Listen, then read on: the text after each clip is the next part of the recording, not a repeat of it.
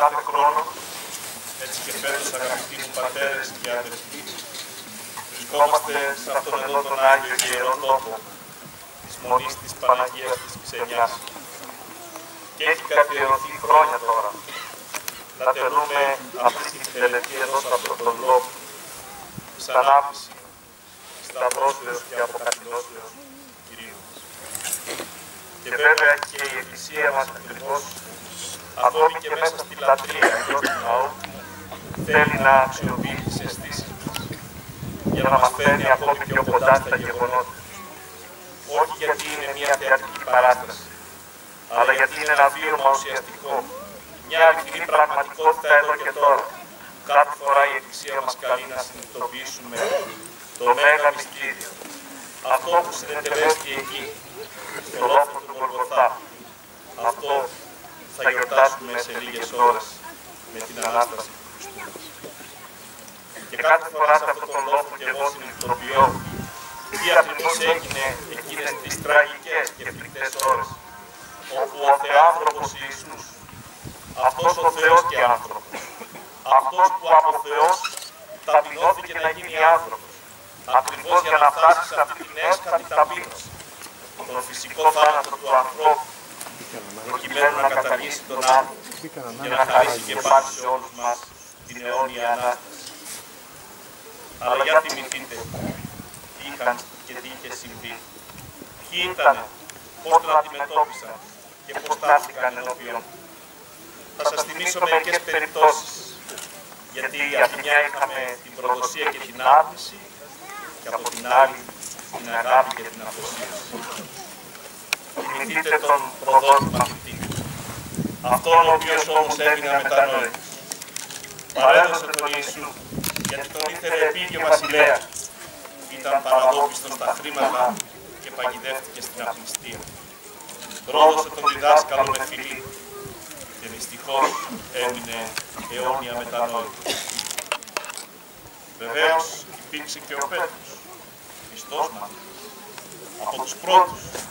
Πάνω σε αυτόν στηριζόταν ο Χριστός και ήθελε να στηρίξει και τους υπολείπους μαθητές και εντούτοις, όπως ο Κύριος του το πρωί.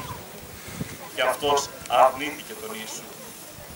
Φοβήθηκε, εκάθ, δεν είχε το θάρρος και την τόλμη να ομολογήσει ότι ανήκε στους μαθητές. Αλλά βρήκε το δρόμο της μετανοίας. Ακούσε ένα βλέμμα του Ιησού για να επαναφέρει και πάλι την αλήθεια στη ψυχή. Βέβαια είχε προηγηθεί και μια άλλη σκηνή. Εκεί, στη Γεθστημανή, όπου ο Χριστός εναγωνίως προσήχεται. Ήταν η κρίσιμη στιγμή που έπρεπε να αποδεχθεί και ως άνθρωπο. Να φέρει το σταυρό στους ώμους, να φτάσει μέχρι τέλους.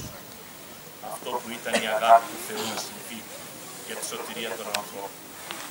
Και ενώ πήρε τους τρεις μαθητές, τους πιστούς και αγαπημένους, και τους κάλεσε και αυτούς να αγρυπνούν μαζί τους. Και αυτοί ξεχάστηκαν και κοιμήθηκαν. Τι κι αν ήταν κοντά του, είχαν βυθιστεί στο δικό του ύπνο και ο ίδιος αγωνιούσε και ήταν ο ιδρώτας ως θρόμβη αίματος, όπως μας λέει το Ευαγγέλιο. Να λοιπόν τρεις στιγμές, να λοιπόν άνθρωποι που θα έπρεπε να είναι πιστοί κοντά του και εν τούτης, πρόδωσαν, ξεχάστηκαν, αρνήθηκαν. Από την άλλη όμως υπάρχουν κάποια για δείτε τι συμβαίνει εδώ ενώπιον των τριών σταυρών. Ληστές, καπούλια, συσταυρώνονται μαζί του. Κι όμως, ο ένας από αυτούς ξεχωρίζει. Στην αρχή και οι δύο τον ειδωρούν. Αρχίζουν όμως τα σημεία. Σκοτεινιάζει ο ουρανός. Η φύση αντιδρά σε αυτό που συμβαίνει. Και ο ένας εξ αυτών αντιλαμβάνεται ότι όντως άδικα είναι πάνω στο σταυρό ο Ιησούς. Και στρέφεται προς Αυτόν, λέγοντας αυτό το μοναδικό, νύστητη μου Κύριε τη Βασιλεία σου. Και αυτός, ο επίγειος ληστής, γίνεται ο πρώτος κάτοικος του Παραδείσου, όπως ο ίδιος ο Κύριος το ομολογεί, ότι από τούδε και στο εξής θα είσαι μαζί μου στον Παράδεισο. σωστά ελέγχθη, κατόρθωσε να ληστέψει και τον ίδιο τον παράδεισο. Αλλά ήταν η μετάνοια και το έλεος που ζήτησε και έγινε αποδέκτης της μακροθυμίας και της αγάπης του Θεού. Υπήρξε και ένας άλλος τολμηρός λίγο αργότερα. Είναι αυτός ο Ιωσήφ ο Απαριμαθέας, ο Ευσχήμων. Είχε όντως ισχυρή θέση, είχε κύρος, όλοι τον γνώριζαν και ήξερε ότι διακινδυνεύει τα πάντα, ζητώντας από τον Πιλάτο να πάρει το σώμα του ξένου, του Ιησού, του Κυρίου και Λυτρωτού, για να το φέρει και να το ενταφιάσει στο κενό δικό του τάφος. Γιατί ο Χριστός υπήρξε πάντοτε ένας ξένος για όλους. Δεν είχε που την κεφαλή κλείνει. Δεν είχε τίποτα δικό του.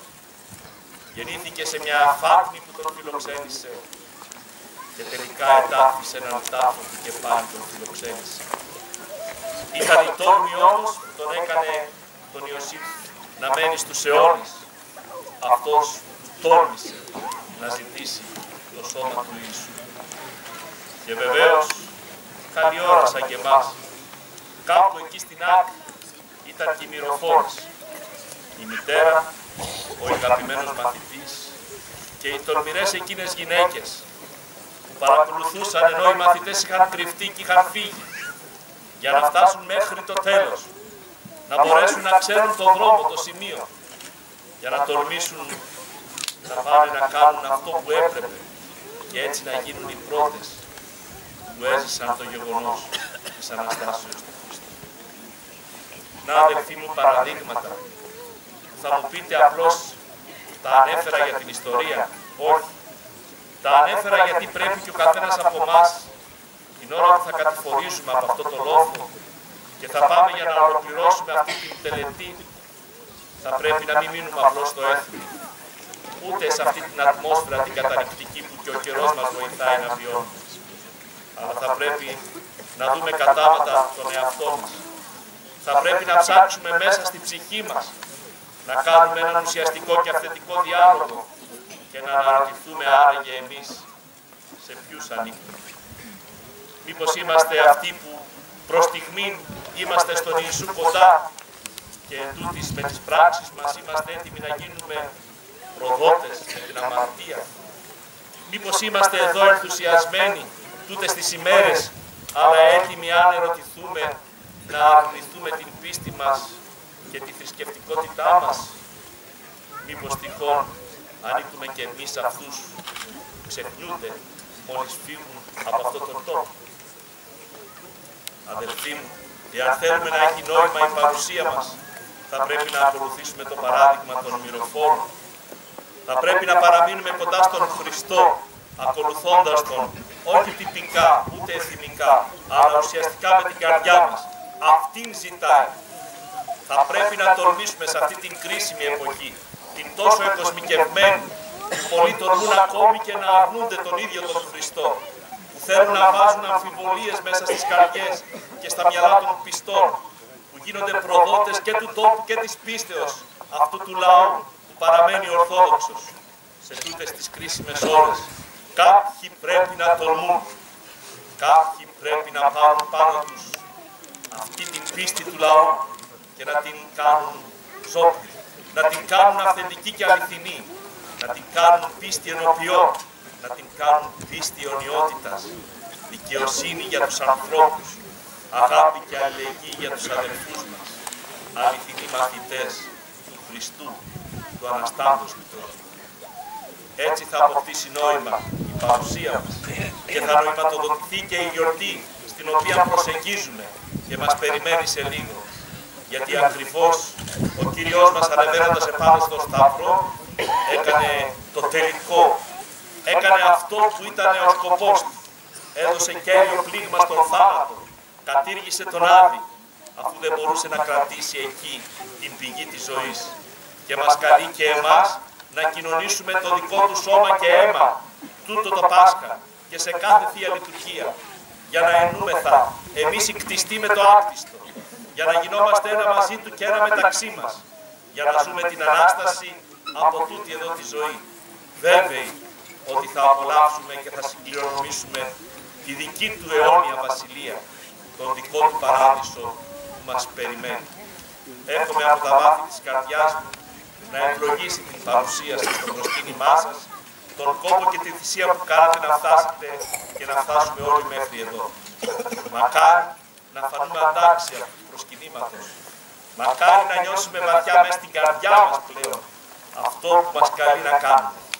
Την αιώνια, την αληθινή, την αυθεντική κοινωνία μαζί του. Εύχομαι καλή συνέχεια σε όλους και καλή Ανάσταση σε εσάς και τις οικογένειές σας. Ο Κύριος να ευλογεί και να αγιάζει όλους.